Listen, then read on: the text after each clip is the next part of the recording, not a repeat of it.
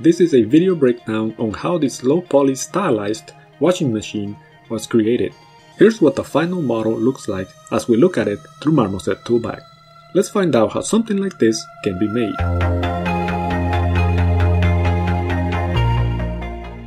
The low poly model was created through box modeling, which essentially means starting out with a simple geometric shape, in this case a cube, and using that to create the shape of the final model. Because this model is relatively low detail and low poly, the best case use for a prop like this would be for a top-down camera view where you don't see the model up close or as a model which is used in the background. For the buttons, I used the same process of creating simple geometric shapes and placing those together. A washing machine has multiple buttons, but in this case I wanted all of them to look the same. It was for this reason that I only modeled one and later made duplicates which share the same UVs and thus the same texture space. For the main body, I also added an extra extrusion on the back to give it more points of interest. I also created a cable on the back of the main body, this was done by using a curve. In the latest version of Maya, you can simply select a curve and use the sweep mesh tool to give it thickness. This tool comes in very handy for things like this. Once I had the back cable created, I also reduced some of the topology as I wanted to keep this model somewhat low poly. One important aspect of modeling is to keep geometry density consistent across different parts of the model. Just like you would keep the texture density across different parts of the model consistent, the same is often overlooked when it comes to geometry density. And just like that, the low poly model phase was completed. The next step was to create the UVs.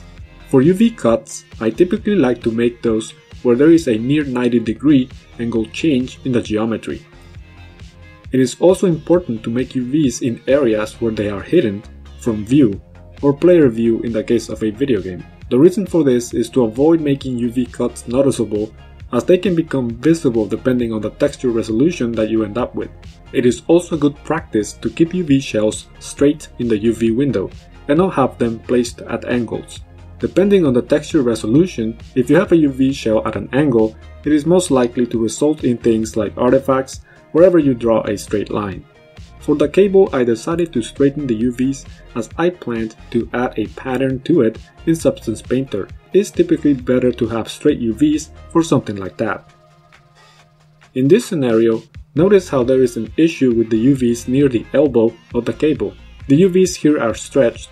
To fix something like this, you would need to manually move some of the UVs in the UV shell until you no longer have that stretching. This is something that was not fixed during the making of this model, as seen in the final texture render, but definitely something to keep in mind when straightening UVs. The last thing to do is to pack the UV shells in the UV quadrant, making sure to use as much space as possible. Any space which is not used is essentially wasted pixels on a texture. While packing is important, it is also important to keep in mind that there will be occasions where the whole space cannot be used depending on the shape of the UV shells, but as a general rule, it is important to use as much space as possible. Before exporting the low poly model, I prepare the model by naming each piece with the suffix underscore low. This is because I will be baking in Substance Painter using the Bake by Mesh name setting enabled. For the buttons, I duplicate the original one and place it accordingly. These duplicates share the same UV space as the original, I prefer to offset the UVs by 1 in the UV quadrant with anything that is sharing UVs. This is because I find that sometimes Substance has trouble making textures on things that have overlapping UVs. For the high poly model, I duplicated the original low poly folder, renamed the files to use the suffix underscore high, and beveled some of the geometry. In Substance Painter, I used the default project settings for the bake settings, I typically like to bake at a semi-high resolution. You can always lower the resolution later if necessary. I'm also baking using the setting of Bake by Mesh name. I like to use this setting to avoid any baking artifacts between pieces of the model, especially where pieces intercept. Baking the maps for something like this is really quick as the software doesn't have to load up a really high poly model. For the textures I used the 3dEx Stylized Smart Material 2.0 which you can find a link to in the video description. The texture for this model is very simple as it is for the most part just one color.